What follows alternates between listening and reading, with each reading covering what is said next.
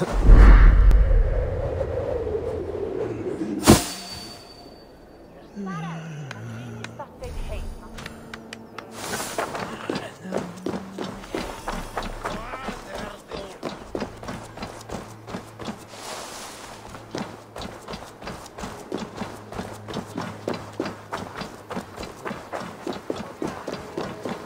seems Alderman Birstan has made this ruin his longhouse.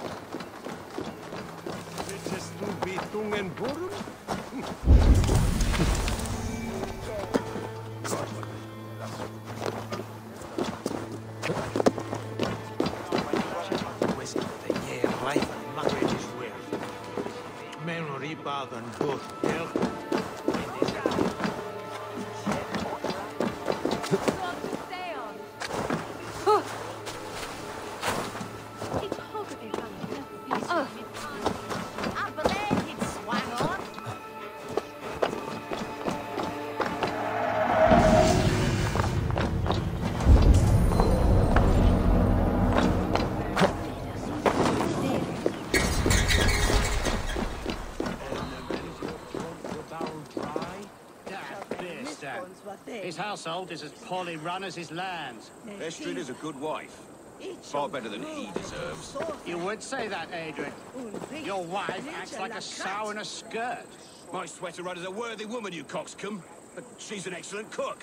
With a fine nose for truffles. If Birstan does not return soon, wine will not be the only thing spilled upon his floors. Now, gentlemen, everyone is fractious with this waiting. Let us be civil at least. Lord, Ah, a heroic-looking Dane in our midst. I'm looking for Birstan, the Alderman of the Shire.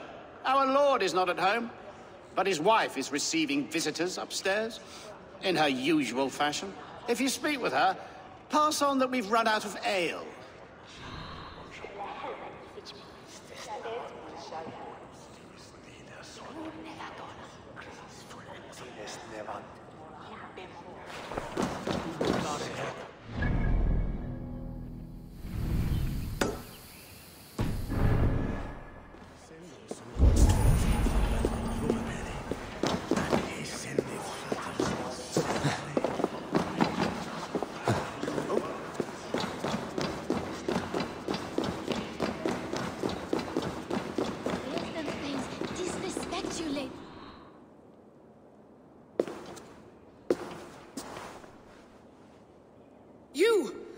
Will come at one cry from me!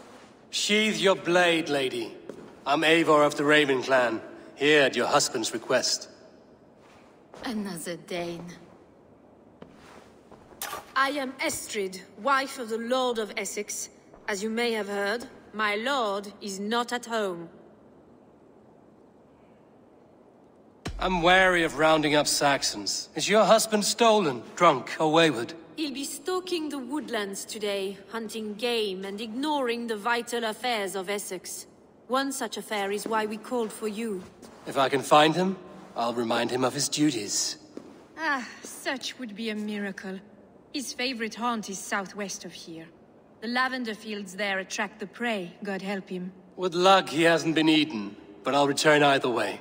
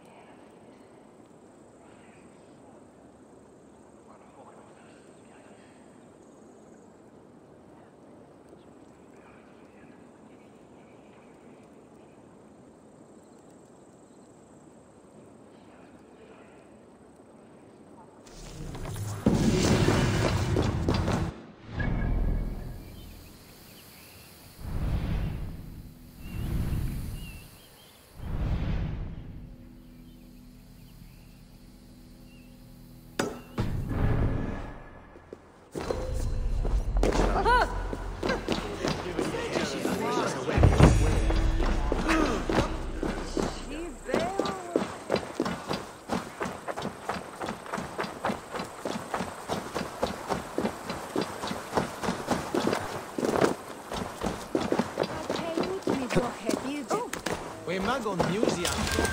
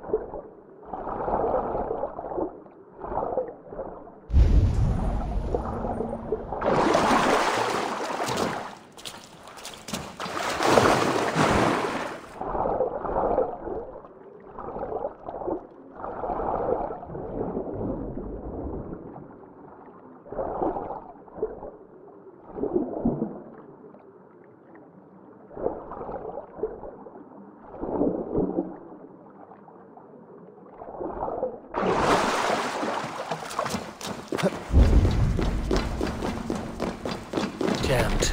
Need to get on the other side.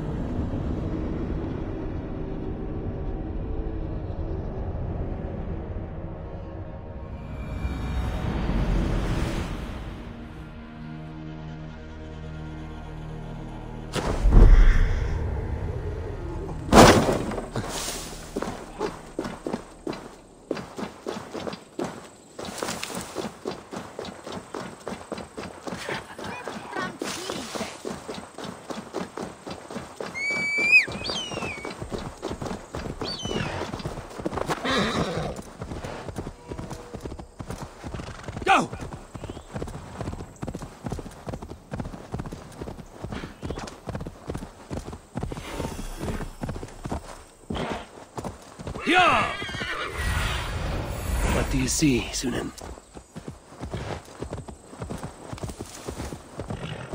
Hunting is a fine sport, but I hope the Elderman has not become the prey. No good comes from a camp this bloody.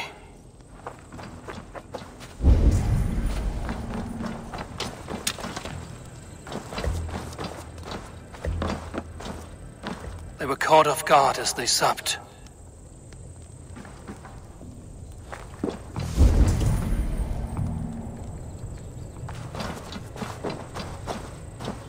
Remains of the hunting party. This one was savaged by a large animal.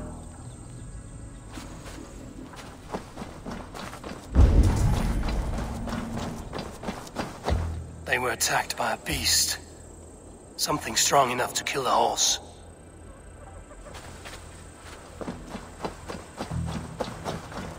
Some large prey left these tracks in the grass. The hunters were prey to a large beast or two. I can only hope that Birstan still lives.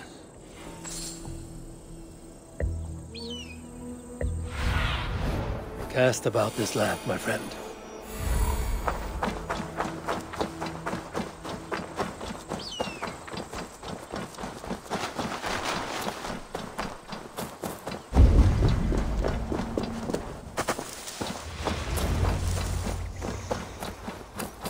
Birstan? Ready your weapon, or accept your fate as a feast for bears.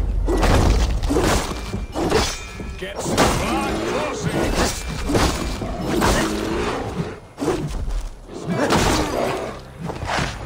This is one Saxon you won't kill today.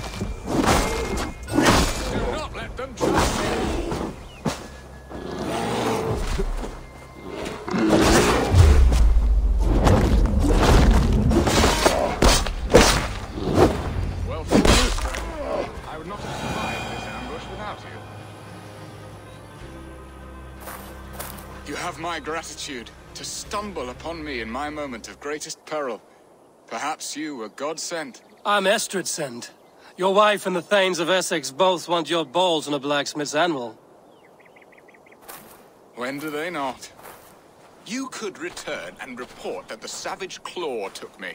Poor Birstan, his exit pursued by a bear. And make the beast Lord of Essex in your stead. No doubt my Estrid would prefer his velvet paws to my calloused hands. So, who are you? A sellsword? I am Eivor of the Raven Clan.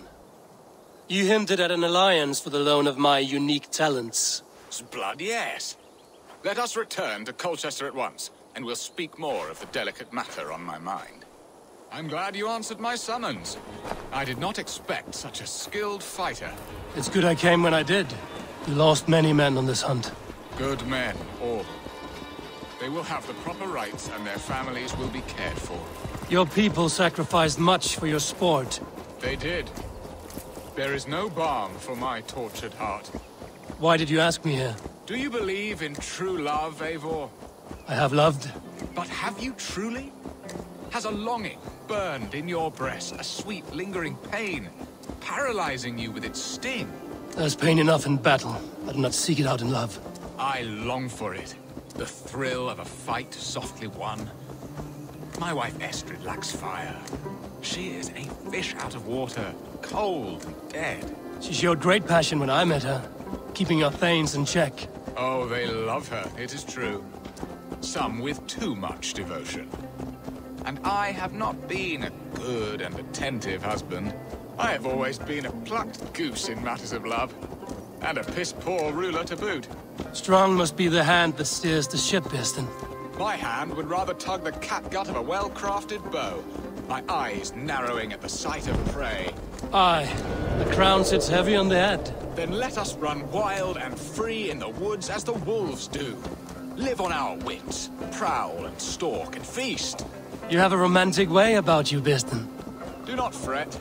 My guards will not worry you when we are together. You mismark me if you think I'm capable of worry. Have you built your city in the ruins of another? No, these builders are lost to the annals of time.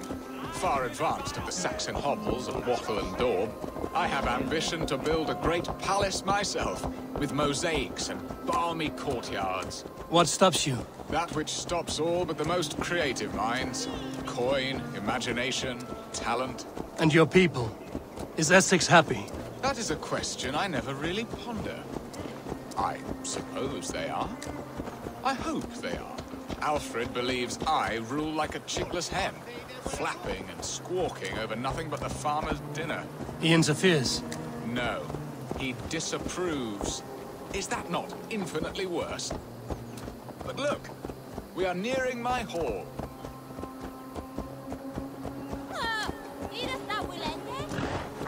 I must face the wolves at my door before we discuss your favor to Essex, Abel.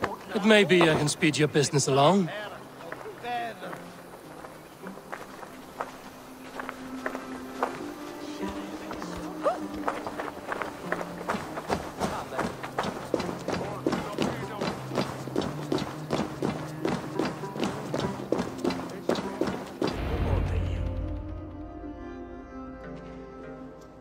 Ready to help me fend off the spears of their displeasure? Let them speak their woes. I'll advise you if I can.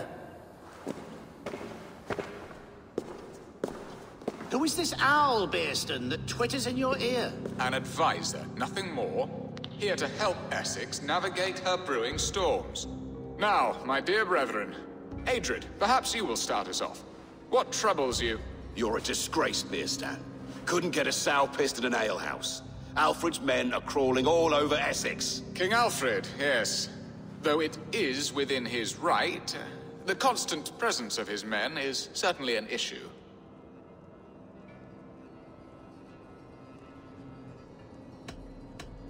Are they men or babes? If Alfred meddles in the affairs of Essex, send his men home in shrouds. Ah, we should challenge his right to rule. Was not Essex once a thriving kingdom of its own? We should fight, yes, fight! And you, Wyatt, what do you say? Your preparations for the Lammas Festival. How can you think of spending so much coin when your people are starving?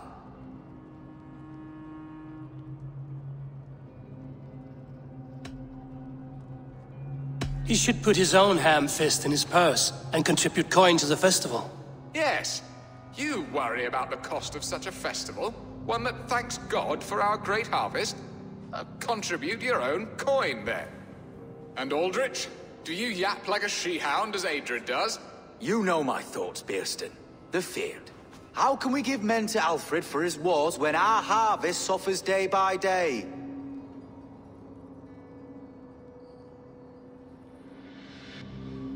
Refuse to send your men. Let Alfred's people die for his hopeless cause against the Norse. Then we refuse. Refuse our king? Has madness taken your wits, Birstan? There. Have I not answered all your questions? You are a stain on this Shire, Birstan. Useless. Useless. That's right. Yet still you haunt my hall. Be gone. I haven't time for your squabbling.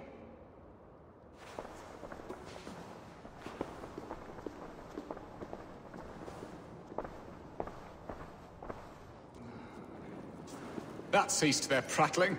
A fine outcome, Abel. The very soul of balance. A firm hand is all you need, Birstan. Whether on your hunting bow or on your helm. All this talk of hunting makes me long for the woods. Your wife awaits, Birstan. Aren't you worried some other man will drench your sheets with his sweat? Ha! She does as she must. As do I. But you will discover this soon enough.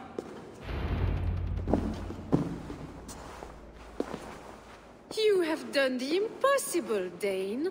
Returned my errant gander to his coop. My pettish love. Such a stormy countenance clouds the sun of my return. Your thanes drank the ale the abbot gifted us. All of it. Now that is a tragedy my heart will not easily overcome. If he looked at me with the same affection he shows for hunting deer, our marriage might have survived.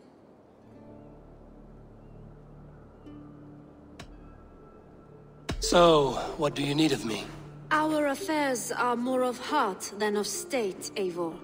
What little passion there was between us faded into bickering long ago. We would have our freedom, Eivor. I from my wife, and my wife from Essex. I'm too sharp a weapon for so soft a task. Why not part and be done with it? Oh, were I a Dane, and divorce as simple as a slit throat. But it's not so easy as that. Does your god not allow husband and wife to part? Our god? Our king?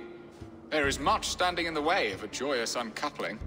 Ours was an arranged marriage, a political need, and not easily broken. Explain yourselves, clear and plain, and I will do it. The poetry here is mind mud. We had a plan, a simple plan. A woman lost and a woman found. Some time ago, we paid a Dane to kidnap me and ferry me safely to Francia. As you can see, he did not deliver. He was certainly thorough in other regards. Some Norse can be quick to take coin and slow to earn it. If I give my word, it is not broken. Could we try the kidnap again? Much of the planning is done. It would only take a more trustworthy overseer. It should be a bold venture if we do. Loud and brash and seen by all. During our Lammas festival, merry peasants and guards with wandering eyes. Your return to Francia would need a swift ship, with a captain ready to leave England. We could ask him. I would have thought his steed and seamen spent. Come find me in the market, Eivor. Our unwelcome guests require food and ale to soften their anger. My wife is a gracious and attentive host, Eivor. The only thing that keeps my braying thanes at bay. And the woman found? A darling Maybud, Ulvida, my childhood sweetheart. I left her 20 years ago in Maldon to marry my prickled pear. Twenty years? Can an ember so cold be reignited? We can hope. You must fan the flame. Find her, bring her to my lakeside cottage, and light a bonfire there. I will know to come.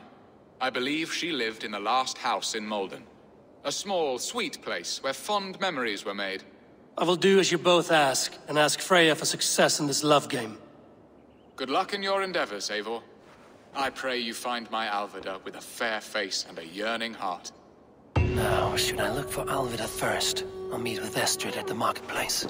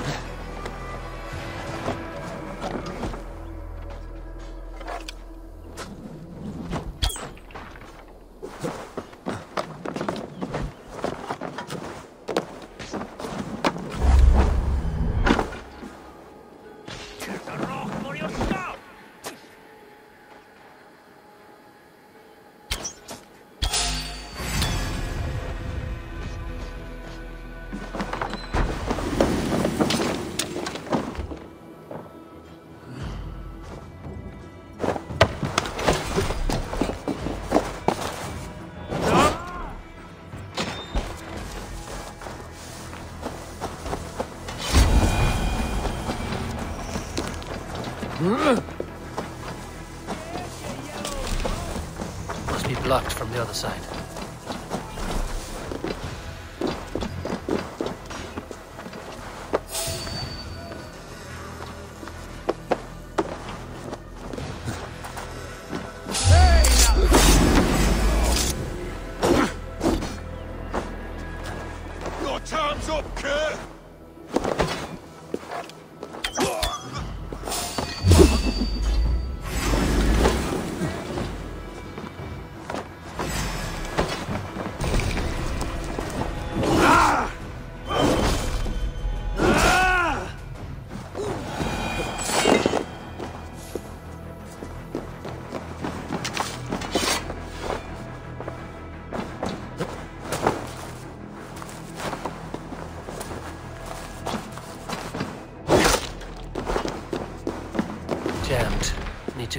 Other side.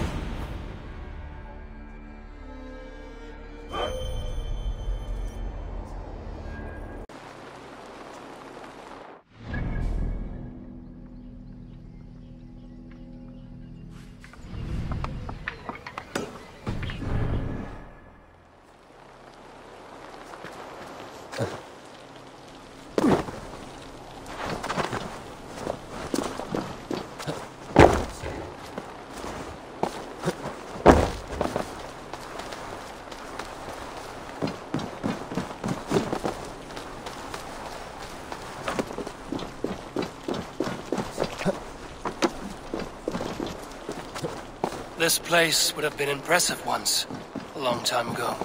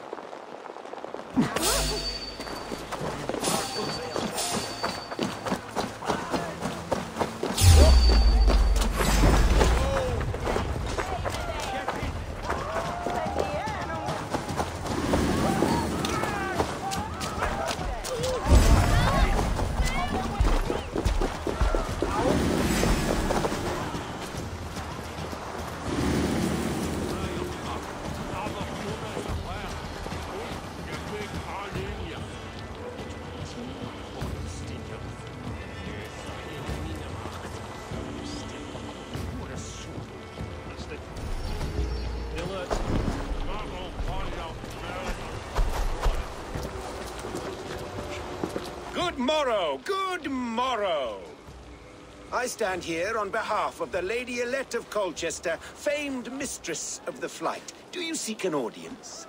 I've never heard of her. Based on your appearance, I'm thoroughly unsurprised. Nevertheless, do you wish to challenge her? I do. Foolish. Yet to be graced by her presence may balance the pain of the loss you will most assuredly suffer. Lady Elette, you are called to the field of flyting. Ah, a peasant. Come for a sound flyting? Please, place your paltry bet. Take this. Hmm. A pittance. But I accept on the lady's behalf. She will begin. I have heard much about you, and none of it good. You've the softness and brains of a sheep. My verses are known all across this great land.